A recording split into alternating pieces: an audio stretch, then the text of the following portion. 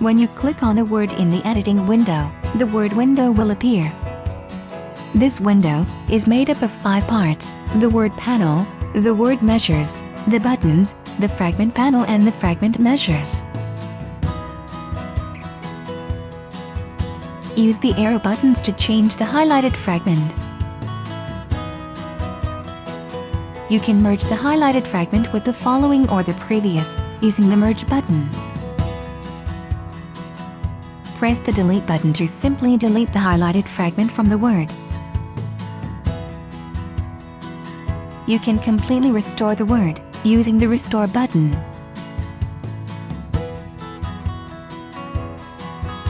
If you need to, you can change the binarization threshold with the binarization tool, simply moving the slider in the pop-up.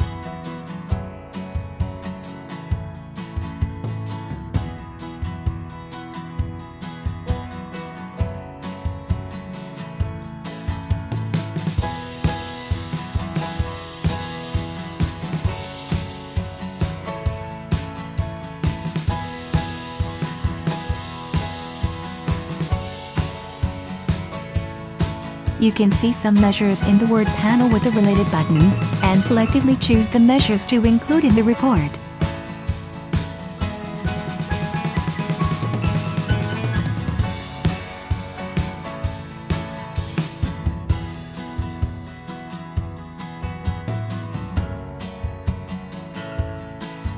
You can also set the transcript and some notes for the word. These will appear in the final report. Don't forget to include the word panel image in the report.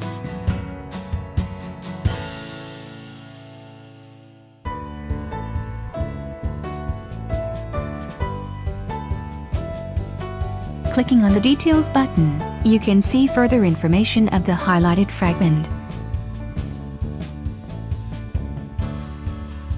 You can see how the system has reconstructed the trace.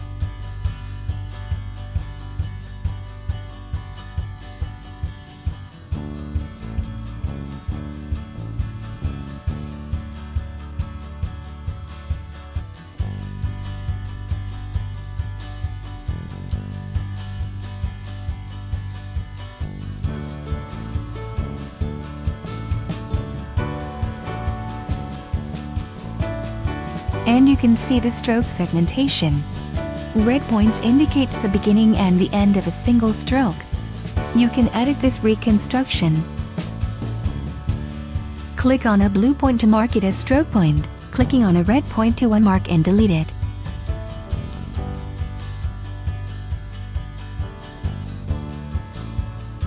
When you finish with the words analysis, you are ready to print the report.